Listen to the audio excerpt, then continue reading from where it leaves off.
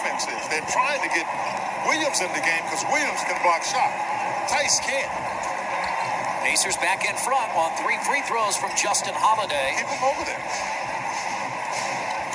They lob it up. Williams is all alone. Second field goal for Williams. He averaged five points last year. Played in the opener against Milwaukee. Did not play against Brooklyn due to illness. He might have gotten away with a double dribble, but it won't matter. Good to see it go down. Let's see if we can get a three to go.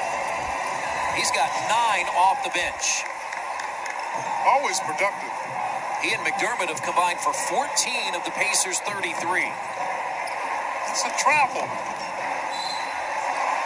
And now Justin Holiday picks up his second Chris, foul. they're driving me crazy with this. Guys get the ball, take one, two steps before they put it down. It's a travel. And I've seen it. The truth is, I've not only seen it in, in professional, I've seen it in college. And one of the things the officials have said, that's something they're really supposed to look at. Well, they probably be worried about a lot of the contact, quite frankly, because in, in, the, in the big in the pro league, in NBA, you're gonna have a lot of contact. Well, there's Sabonis Well, he, he tried to do too much, and he didn't know Ojeleye was behind him. in traffic. Now Ojeleye, who's come off the bench, finds Teague. Pacers recover. Pritchard gets his shot away. Back and forth we go here in the second quarter. Well, that's good because it didn't start out that way. No. McDermott for three. And Tatum has it. You'll see either Tatum or Brown on the floor at all times for the Celtics.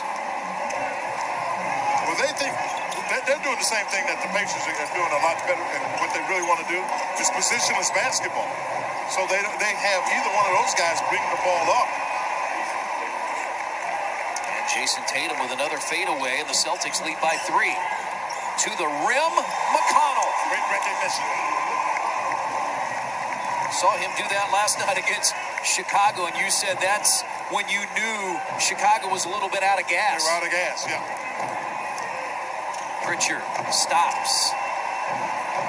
And now Tatum, who has hit a three, guarded by McConnell. They're trying to get closer him. Yeah, see, he took a dribble in because he knows he can shoot over the top at any time. Jayson Tatum, after just a two point quarter, he has added nine in this quarter, but here's another look at TJ McConnell in his second year as a Pacer. 38 35 Boston.